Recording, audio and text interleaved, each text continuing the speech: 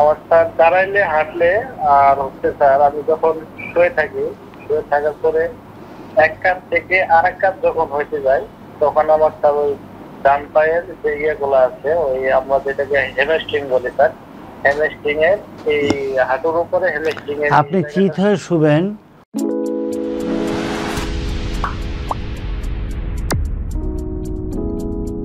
Hello আসসালামু আলাইকুম। আসসালাম বলেন কোথা থেকে কল করেছেন?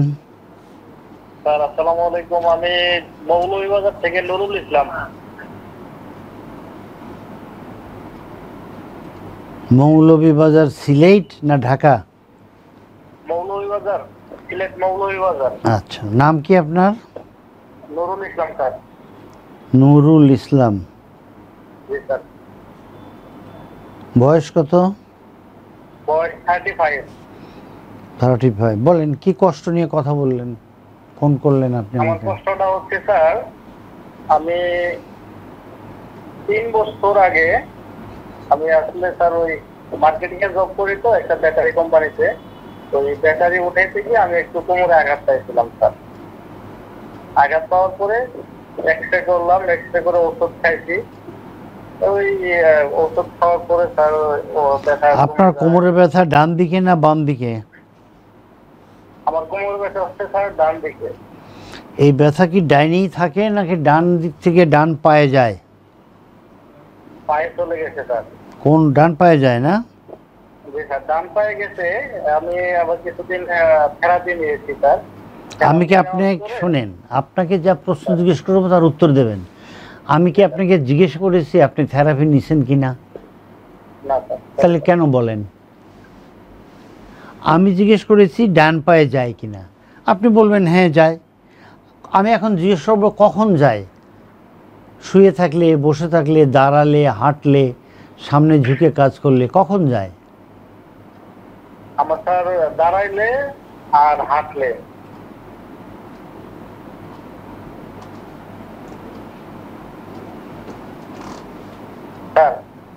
শুনতে পাচ্ছেন আপনি আমাকে দেখতে পাচ্ছেন হ্যাঁ স্যার দেখতে পাচ্ছি আমি কি করি? তাহলে আপনার কথাগুলো লেখার সুযোগ না দিয়ে আপনি হ্যালো হ্যালো বললে আমার তো কষ্ট হয়।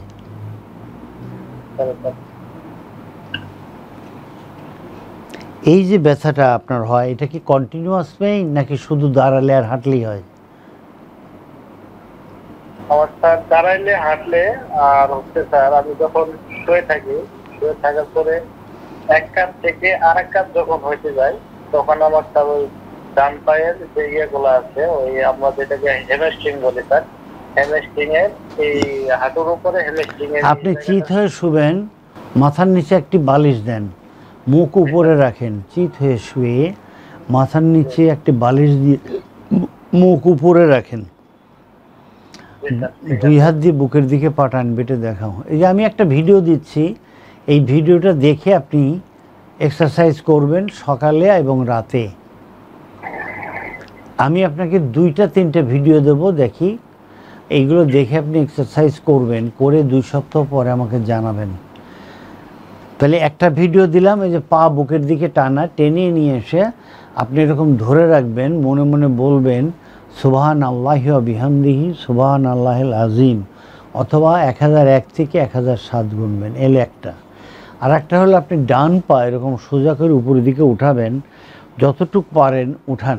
দেখেন তো টান লাগে না নিচে এরকম অবস্থায় কতটুকু উঠাতে পারেন? এটা স্যার আমি উঠাইতে পারি মোটামুটি প্রায় সেভেন্টি ফাইভ ডিগ্রি পর্যন্ত উঠাইতে পারি।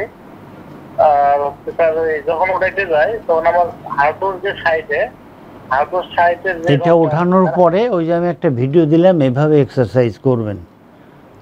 আপনি কি ব্যাটারি বেছেন? আচ্ছা ব্যাটারি বেছেন এক্সারসাইজ করবেন। আপনি এক পোয়া নারকেল তেল আর রসুন এগুলো গরম করে আমরা একটা ভিডিও দিছি ভিডিওটা দেখবেন দেখে এটা গরম করে এক্সারসাইজের পূর্বে কোমরে কমপক্ষে দশ মিনিট আর পায়ের দিকে ডান পায়ের দিকে দশ মিনিট ডলবেন। কীভাবে ডলবেন? এই যে আমরা একটা ভিডিও দিচ্ছি, ওই ভিডিওটা দেখেন, এটা না। ওটা কার ভিডিও এসেছিল পেটে? হ্যাঁ হ্যাঁ হ্যাঁ।